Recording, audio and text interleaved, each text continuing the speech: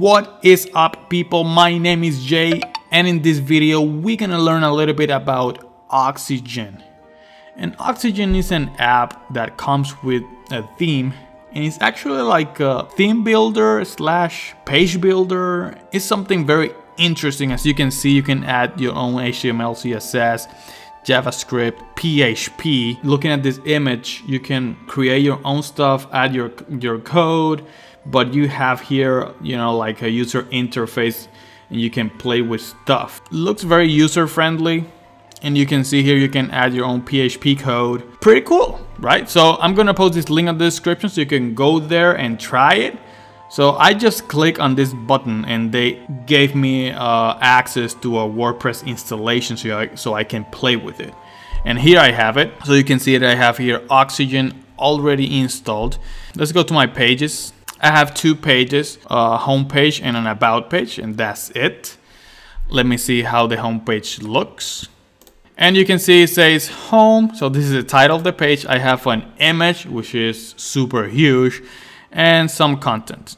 Uh, so you can see that we don't have any kind of navigation, no footer, no like, there's nothing here. And that's what I want because I want to create my own header. I want to create my own footer. I want to create my own stuff and I can do it with Oxygen. So I'm gonna click on edit page and you can see here that I have, like, let's click here on visual. I have here the image and the content. But here's something new. It says Oxygen in the says warning, no view is applied to this post.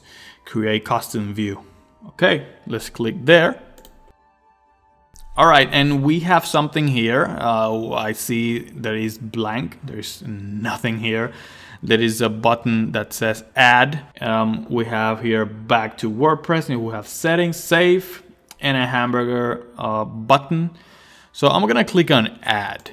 All right, so we have section um, under fundamentals, we have WordPress, reusable components, and design sets.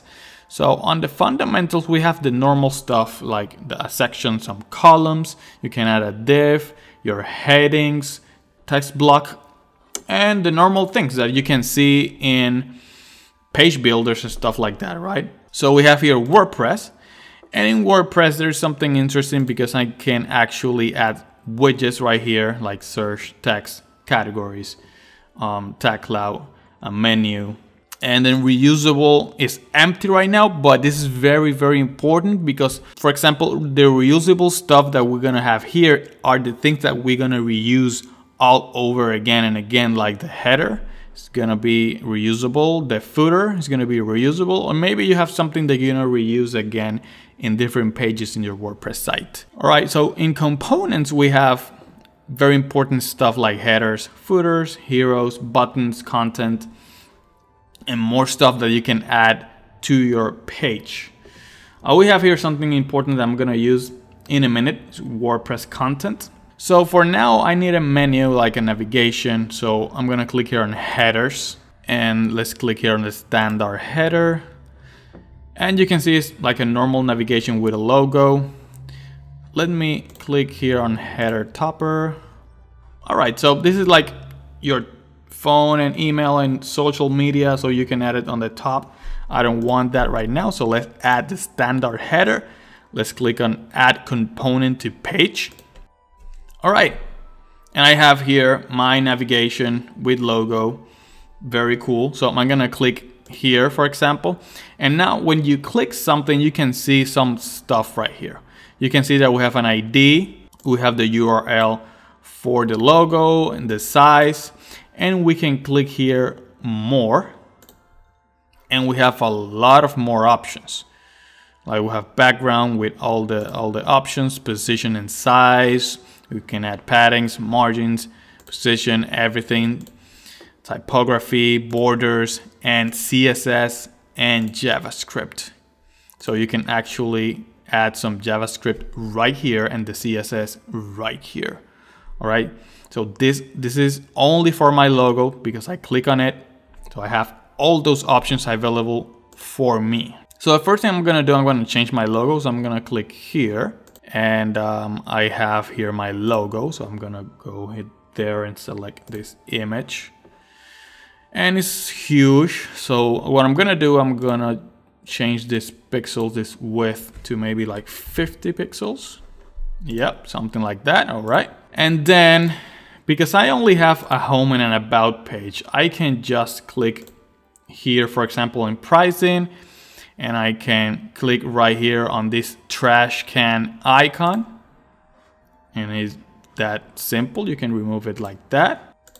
Or I'm gonna show you something else I'm gonna click on this button right here and you will see the DOM tree. If you don't know what is it what it is just google it and it's gonna be very easy to understand. So we have everything that we have in the website right here. Right from the body to the to the header and then inside the header we have an image which is the logo and then we have a hamburger menu which is the button uh, that you see to open your navigation when you are on a phone or a tablet and then we have this div block that you can open here it's a group and we have the four links that we have right here right so what I can do is I can remove, remove it right here in this X button. There you go. And there you go. Awesome. That's all I need. I just need the about and the home and about link in my navigation. That's all I need. So I'm gonna click home. And you can see here that we have a button that says link. I'm gonna click there. And here you can add, um, it can be an external link or it can be an internal link. So for example, this is the home page. I'm gonna click here on the home and I'm gonna click add link. And in the about, I'm gonna do the same thing and I'm gonna click here on about, add link. And now we have our about homepage and about page linked. So let's say that I'm happy with my header. This is what I'm gonna use in every page that I create.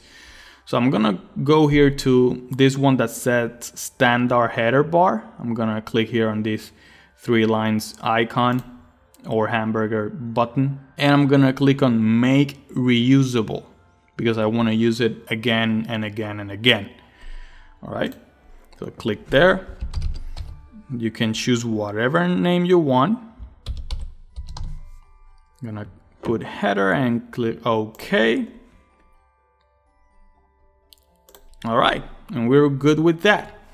Now, I want to add more stuff, so let's click add. So for example, the columns, I'm gonna add a new section. We have this section right there. And you can see that we have a width right here.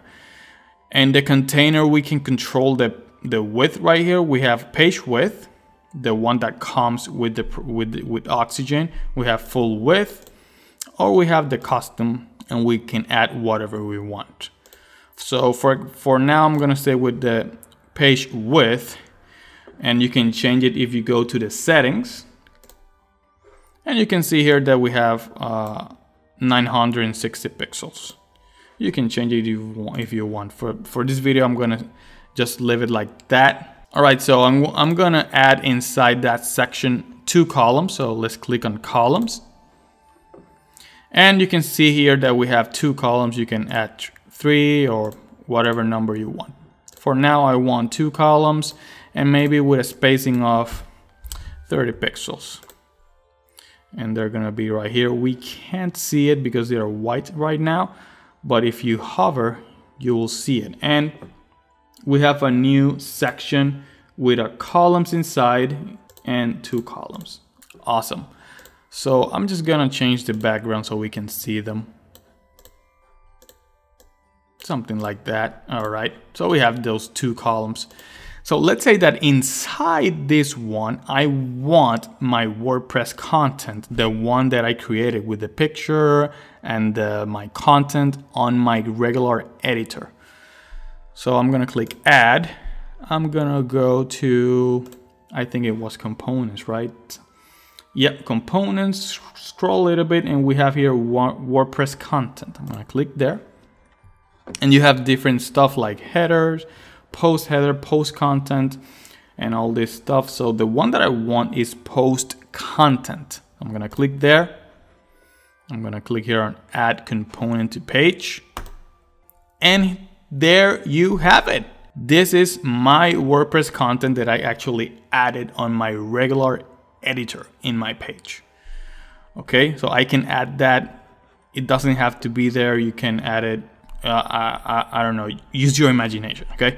So right now I need to add some padding because this is like almost right in the edge. So I'm gonna click here on this section. I'm gonna click on columns and I'm gonna click on that specific column. And I'm gonna click here on more. Let's go to uh, let's see. Yeah position and size. So we have the padding right here. So I'm gonna add like 20 pixels to apply to all awesome. So we got now some space right there. Actually I'm gonna change my background to white. So it looks better. All right. Looks awesome. And you can see here, I clicked right here. And you can see that we have some PHP here, some code that you can actually modify if you know PHP. It's very interesting that, uh, you know, some page builder or some app like this can do this because most of the page builders or theme builders or whatever, they don't give you this option. So I'm actually pretty impressed okay? And we got css and if you want javascript you can add it. As you can see they have some javascript here uh, and alert. Let's remove the comment symbol let's see. All right so the javascript is working. It says hello so very very cool really very cool let's add some text to this column so let's click on the column Let's click on add. Right here we have the text block. Let's click there. And you can see that we have something and you can double click on it. You can write whatever you want. But for now, I'm just gonna paste some, you know, text. I wanna add some padding just like we did in this column. We have some padding. So make sure you are in the column. So let's click there. And this time I'm gonna click here on more and I'm gonna go to CSS and JavaScript. So I wanna show you that you can actually code instead um actually adding the padding in here or changing the background color. So I'm just gonna code it right here. So let's say padding 20 pixels. Here you go, we have the padding. And I wanna change the background to white. There you go. Pretty easy, right? But of course, if you don't know how to code, don't worry, you have all the options in the user interface right here. It's very easy to change and control, but you have the option to code everything too. Something that I want to show you is, I'm gonna add a new section. Let's say add a new section. I'm gonna click add again. And I'm gonna go to HTML, this code block. I'm gonna click there you can see that this is today's uh, date. If I click here that says code editor, you can see that we have some HTML, but we have PHP. So we can actually create PHP right here and you can see it that is actually working. And we have CSS and JavaScript inside this code block. So I'm gonna remove that section and I'm gonna create a footer, right? So let's create a new section right there. I'm gonna add some text. And let's say like copyright 2016 I eat websites. And I'm gonna click there on the section. I am going to center the text and I'm going to click more so I can add some padding. All right, 20 pixels, apply to all. So we have some padding right there. That's good. And now this footer, I'm going to use it in all my pages. So I'm going to click on the three lines icon or, or the hamburger menu or whatever you want to call it. I'm gonna click on make reusable. I'm gonna call it footer.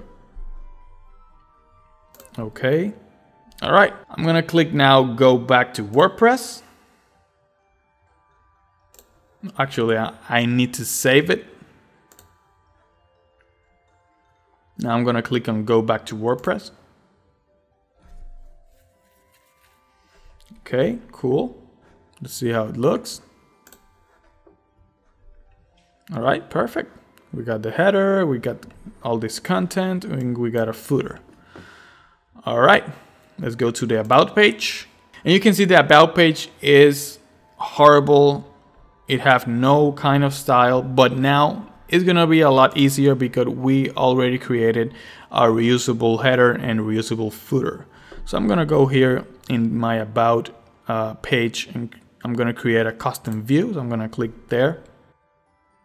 All right, is blank. I'm gonna click on add. The first thing I'm gonna do, I'm gonna go to reusable and we have the uh, I mean the header and the footer. So we got two options, single and editable. So the editable means that you can actually change it. You can edit that block and it will be different in that page. So if you want a different header on the about page, you can click there and you can change it. But if you click single, it's gonna be exactly the same. All right, so I'm gonna click on single because I don't want to change it. So it's exactly the same. I don't want to change it. And I'm gonna click on single footer too. All right, so we have the header and the footer. Let's let oh, let's open the DOM tree, so you can see there that we have those in there. And now I'm gonna add a new um, section. I'm gonna put it on the middle, both. And in here, I'm gonna add my WordPress content. So I'm gonna go to components, I'm gonna go to WordPress content, and I'm gonna click on post content, add component to page, and look at that beauty. So I have my normal, you know, content from WordPress, from my WordPress, my regular editor. I put it right there. My, my footer, my header, everything is awesome. You can keep adding stuff. For now, I'm happy with this, so I'm gonna click save back to WordPress. Let's see how it looks. All right. Looking perfect. Let's go home. All right, we have the home and we have the about page. So right now I have a, a, working website. Really, really awesome. It gives you the flexibility to do whatever you want. You have the freedom to do whatever you want and I love it. So thank you so much guys for watching. I hope this helps and um, if you want to keep learning, subscribe because I'm uploading one video every week. So see you next week. Yeah, bye.